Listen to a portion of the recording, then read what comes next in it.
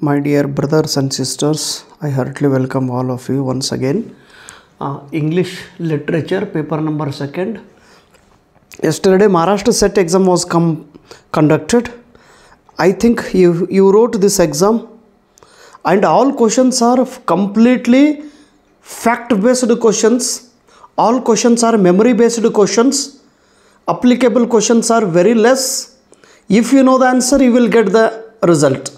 I think this question paper is easy according to my point of view. All the answers, all these questions, all these questions are from this book only. If you study this book, you will get everything. It's my humble challenge. See all the questions, and I think this book you have. Okay, open open these books, turn each and every page, and see the questions. Okay don't read everything. Literature is completely vast. Just go through the exam point of view. Okay chalo now question number 71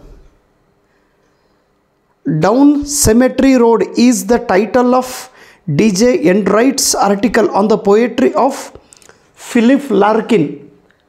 B option is correct.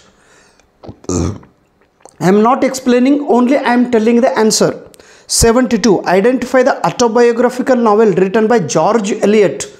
George Eliot's autobiog- autobiographical novel is A. The Mill on the Floss, 1860. This novel was published, The Mill on the Floss.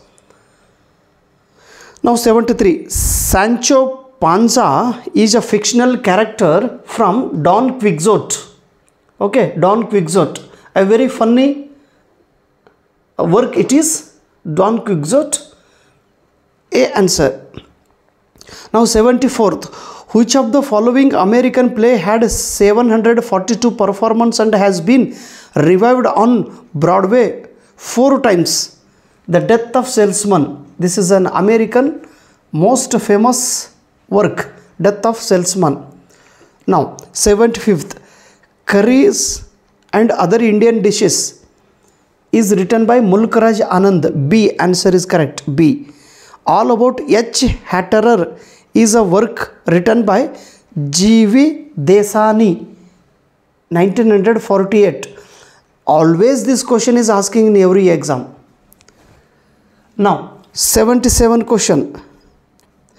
Which of the following text can be classified as belonging to the Middle English period? See, Old English and modern english and middle english if you see the options you will remember beowulf it is old a option Caedmon hymn and beowulf okay spanish tragedy Faerie Queene modern